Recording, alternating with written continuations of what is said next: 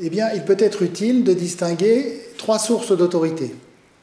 La première, c'est le statut, la place que l'on occupe dans l'entreprise ou, c'est la même chose, dans une famille. Le statut de parent, le statut hiérarchique confère une certaine autorité.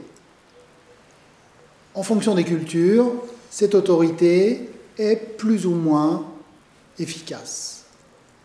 La seconde source d'autorité est conférée par les leviers de pouvoir dont on dispose. Certains postes hiérarchiques disposent de gros leviers de pouvoir et d'autres pas. Pour les personnes qui subissent cette source d'autorité, liée donc au pouvoir, elles le vivent rapidement mal et parlent d'autoritarisme, voire de totalitarisme.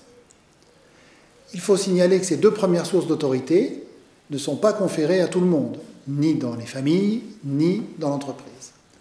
La troisième source d'autorité, elle, c'est celle qui est conférée par les autres.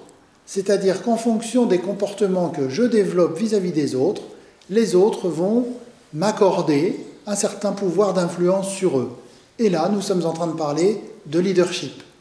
Le leadership a, vis-à-vis des deux autres sources d'autorité, un gros intérêt, c'est qu'il est accessible à n'importe qui, quelle que soit la position hiérarchique et quels que soient les leviers de pouvoir dont on dispose.